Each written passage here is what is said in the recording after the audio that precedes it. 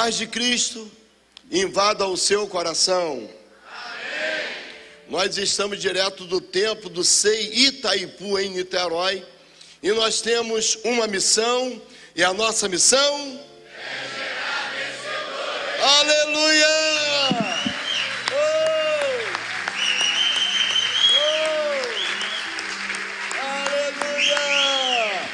Nós somos o povo mais feliz da terra. Aleluia. Pastor, eu escutei assovio aqui. Pode isso na igreja? Paulo que disse: quer comais, quer bebais, ou façais qualquer outra coisa que seja para a glória do Senhor. E para você que veio aqui pela primeira vez, deixa eu te falar. Meu pai se converteu através do assovio, pastor. Eu já sou bicudo, não sei assoviar. Mas foi aquele hino assim, ó. Foi na cruz, foi na cruz, onde um dia eu vi meu pecado castigado em Jesus. Foi ali pela fé que meus olhos abri e agora me alegro em sua luz. Foi na cruz, foi na cruz, onde um dia eu vi meu pecado castigado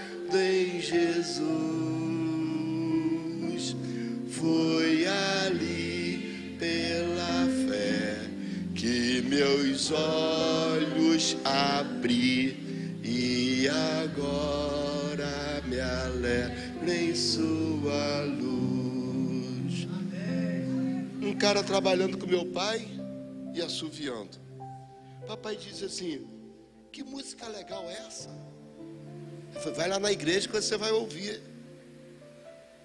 É, papai, é na igreja? É. Sabe por quê, meu irmão? Quando alguém assovia, foi na cruz, foi na cruz. Está lembrando o maior evento que já aconteceu até agora, porque virá, virá o maior advento. Pastor Portugal pregou sobre isso. Mas foi o maior evento que o planeta Terra viu. Quando alguém assovia dizendo foi na cruz, foi na cruz. Nem o pai conseguiu olhar para o filho. A terra tremeu. Os cemitérios expulsaram mortos. A Bíblia diz que se levantaram dos túmulos pessoas andando vivas nesse momento. A natureza não aguentou ver o sofrimento do Filho de Deus. O pai vira o rosto, o véu do templo é rasgado de alto a baixo. O próprio Jesus disse: Pai, está consumado.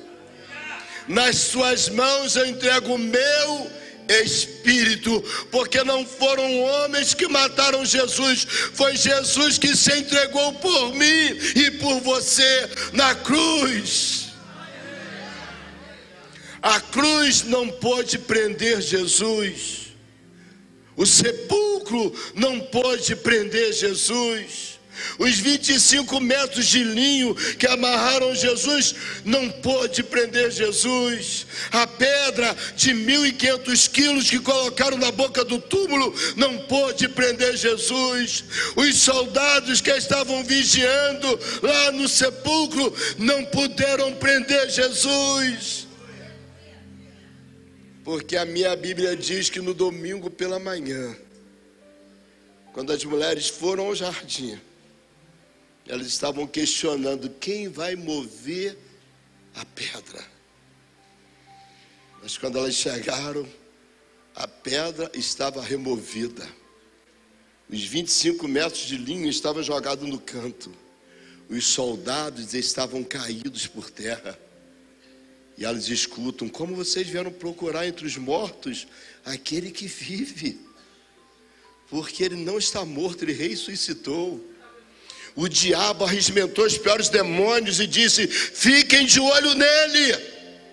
Porque ele falou que ele ia ressuscitar, e se isso acontecer, será a nossa maior derrota. E Jesus ressuscitou para a derrota do inferno. Ele está vivo. Ele está vivo.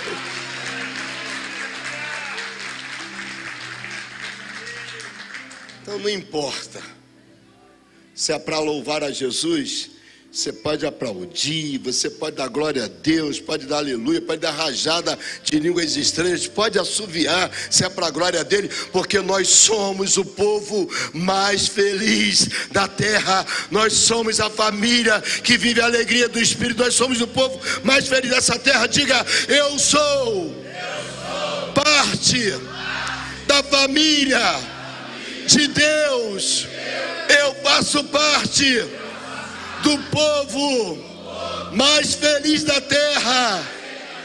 Eu vou morar no céu junto com Jesus, porque Ele preparou um lugar. Diga, Ele preparou um lugar para que eu, a minha casa, a minha família esteja com Ele para a honra e para a glória de Deus Pai. Isso, isso é verdade. Exalte ao Senhor com muita alegria, com muita adoração. Aleluia, aleluia, aleluia, aleluia. Nós somos o povo mais feliz da terra. Por isso aqui não é lugar de cerimônia fúnebre. Aqui é lugar de alegria. E quando alguém está alegre, pastor Edson, pula, levanta o braço, mesmo com a camisa furada. Dá glória, aleluia.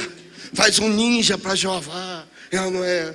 Assovia, canta, grita. Aleluia. Nós somos o povo mais feliz da terra. E eu quero compartilhar com você que gratidão é expressão do coração. E o salmista, Davi, no Salmo 46, no verso primeiro ele diz: Deus é. Ah, meu Deus.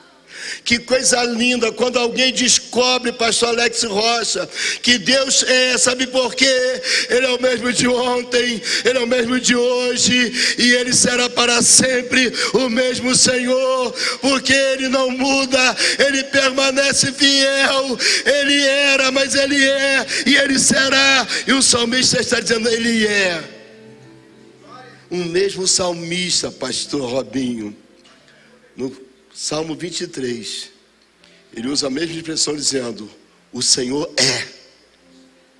Será que você tem agora repetir comigo? Diga: O Senhor, é, o meu pastor, e nada me faltará.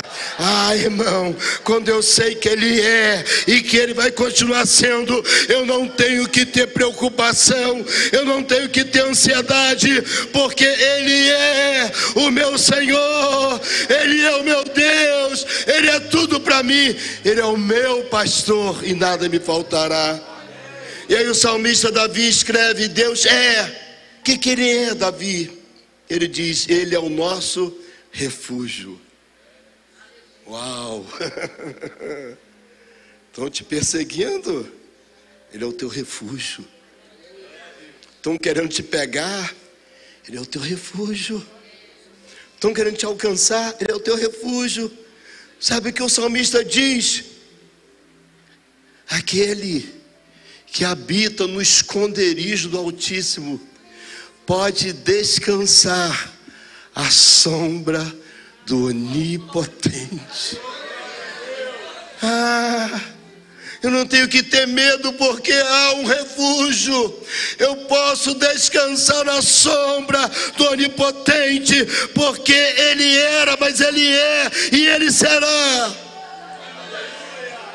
E nesse Salmo 46 eu aprendo três coisas que eu quero chamar a sua atenção. Ele é, mas Ele está e Ele faz. Ele é, pastora Kátia. Ele está e Ele faz. Ele é o refúgio. Mas o que, Davi? Que ele é, ele é a minha fortaleza, ele é a fortaleza. Uau! Sabe quem está dizendo? Você não está debaixo de casa de pau a pique, não. Você está na fortaleza. Ele é a tua fortaleza, ele que te guarda. Ele é o teu socorro bem presente na angústia.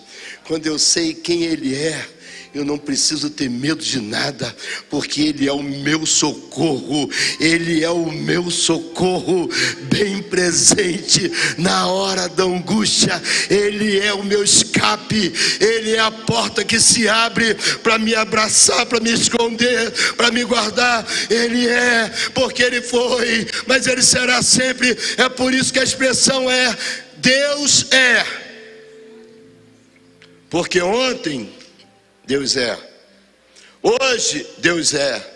Amanhã, Deus é. A cada dia, Deus é. Em cada etapa, Deus é. Eu não sei qual momento você está passando, mas eu quero te afirmar: Deus é.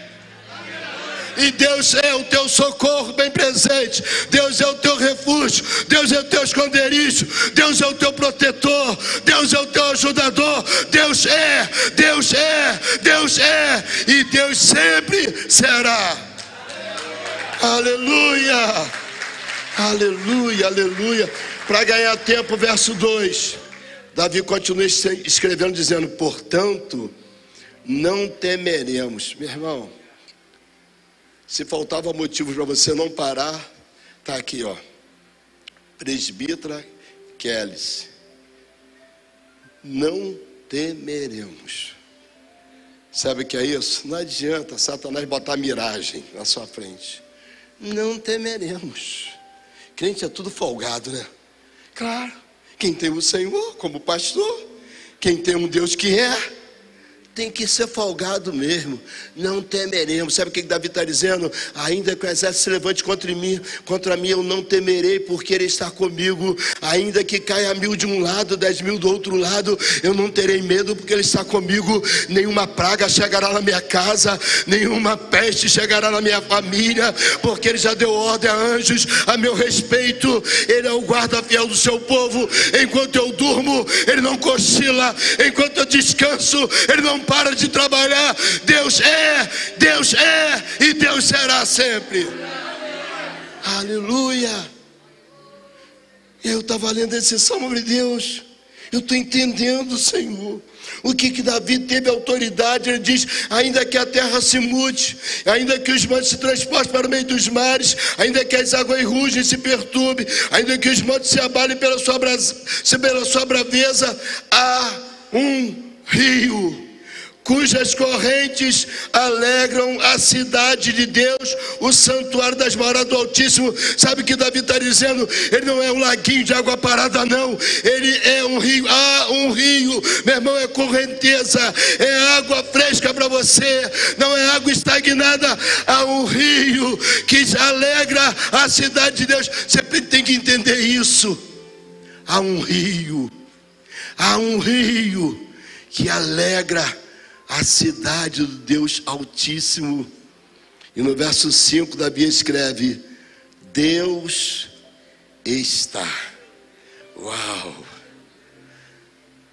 Ô, oh, pastora Kátia, ontem Deus estava, mas hoje Deus está. E amanhã, pastora Kátia, Deus estará. Entendeu, Eugênio? Não tem que ter medo, meu filho, guarda isso. Deus é, Deus está e Deus faz. Quando o diabo vier afrontar, dizendo, agora quero ver, meu filho, como é que vai ser? Ah, é? Vai para a igreja e volta toda animadinho? É?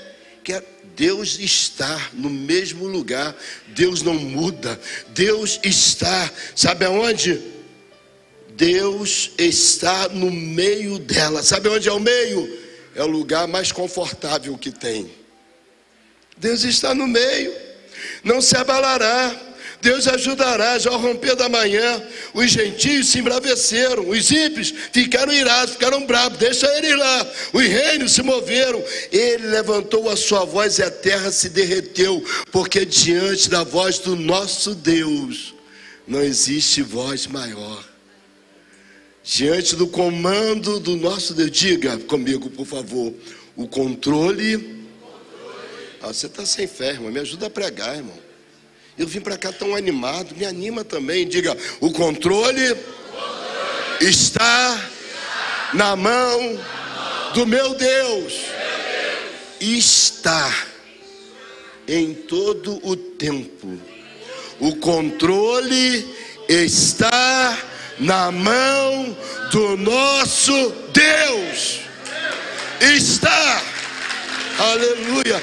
É que esteve, pastor Edson. É que estará, não. Está em todo o tempo. Ninguém é maior do que Deus. Ninguém é maior do que Deus. Eu vou repetir, porque se você esquecer o que eu já falei, guarda pelo menos isso. Deus é, Deus está e Deus faz. Aleluia. O verso 7, Davi diz assim: O Senhor dos exércitos, você já entendeu, está conosco o Deus de Jacó é o nosso refúgio. Então ele está e ele é. E aí o salmista tira onda dizendo: Vinde, contemplai as obras do Senhor, que desolações tem feito na terra. Verso 9: Ele faz. Fala comigo, ele faz. Ele faz. Ele faz cessar as guerras até ao fim da terra. Sabe quem está falando, Jefferson, Diácono Jefferson? Que ele acaba com a guerra aqui e até o confim da terra. Ele não resolve de forma paliativa, ele é Senhor e ele faz cessar a guerra até os confins da terra. Aleluia, aleluia. Deixa me chamar de baixinho folgado, eu não estou nem aí. Depois que eu descobri que Ele é, que Ele está e que Ele faz, ah, ninguém vai me parar. Está confiando em quê? Estou confiando nele. Ele é, Ele está e Ele faz. Eu não vou parar, eu vou continuar, eu vou permanecer.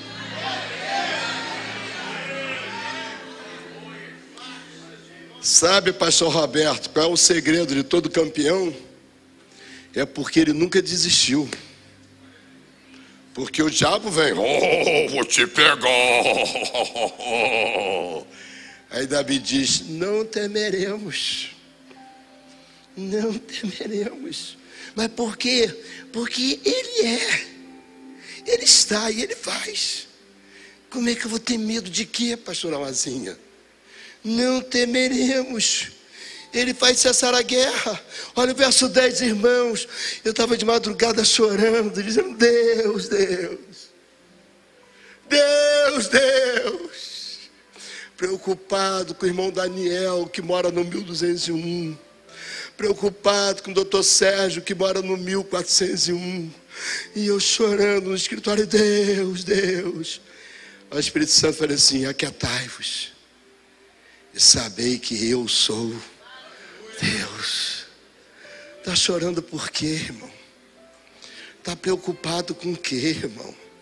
A palavra de ordem é: aquietai-vos e sabei que eu sou Deus.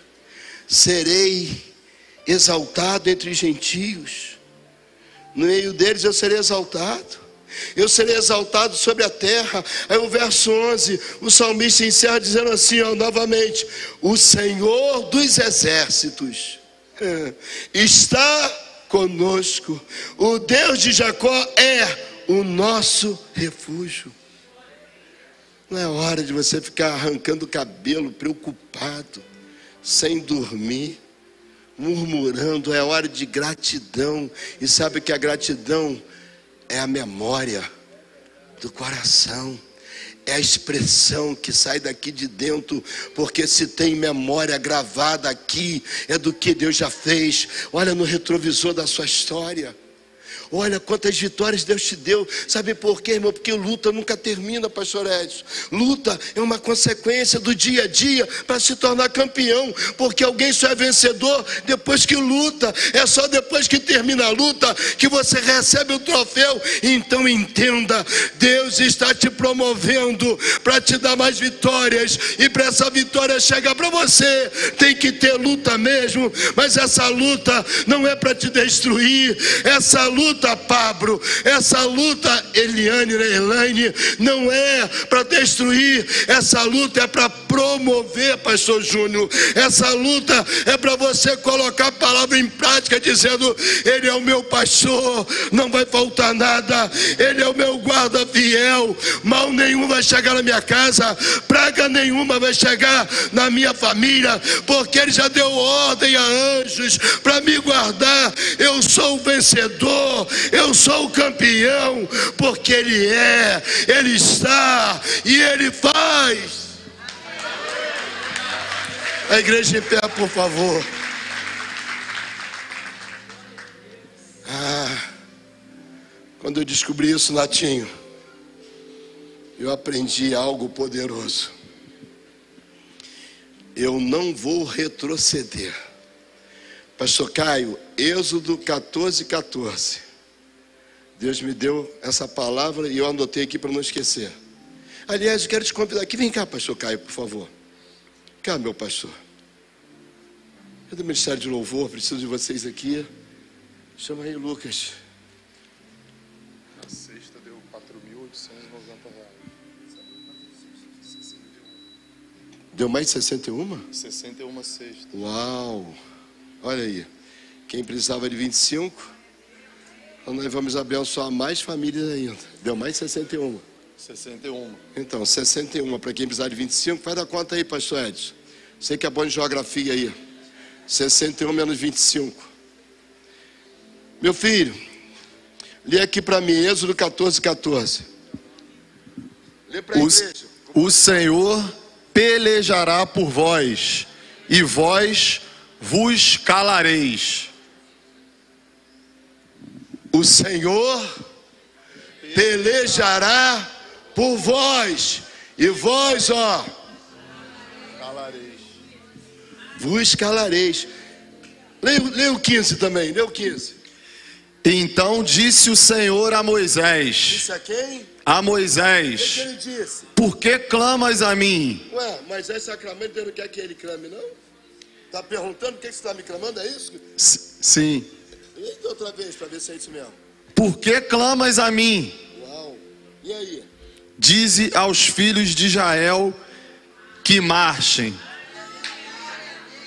E tu levanta a tua vara e estende a tua mão sobre o mar e fende-o, para que os filhos de Israel passem pelo meio do mar em terra seca.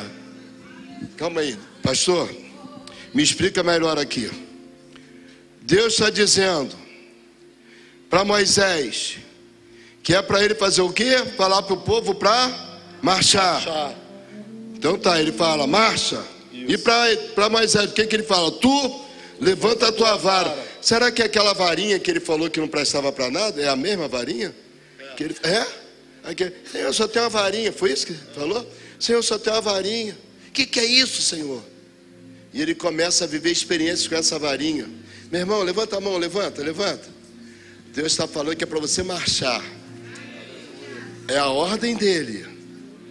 Tem coisas que ele já está fazendo, e tem coisas que é você que vai ter que fazer. Olha o que ele está falando com Moisés. E você levanta a tua vara, é o que já tem na sua mão, é aquilo que você achou que é pouquinho demais, é aquilo que você achou que não vai provocar, provocar resultados. Deus está dizendo: levanta a tua vara e estende a tua mão sobre o mar e fende-o para que os filhos de Israel passem pelo meio do mar em terra seca. Aí se aprofunda, pastor Caio. Ó, Deus fendeu o mar, beleza, abriu a água, é um milagre. Mas terra seca, meu irmão, se estava encharcado há anos e anos e anos e anos, como é que vai secar? Mas Deus está falando que é terra seca. Sabe o que é, irmão? Deus vai fazer o que ele tem que fazer. Me ajuda aqui, pastor, levanta a minha mão. Levanta a mão de quem está perto de você. Levanta, levanta. Isso é profético.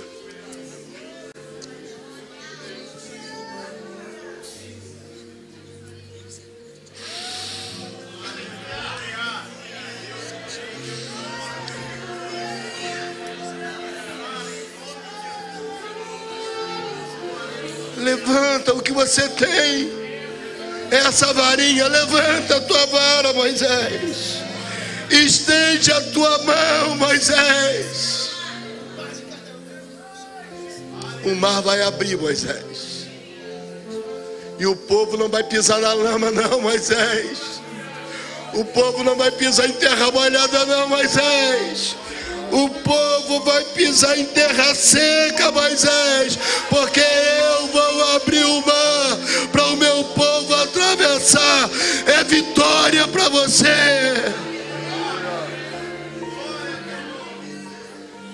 quero falar com você, com você mesmo. Você que Deus falou o tempo todo através dessa ministração. Você precisa ter um encontro real com Jesus. E se você ainda não fez, é simples. Você só precisa fazer uma declaração.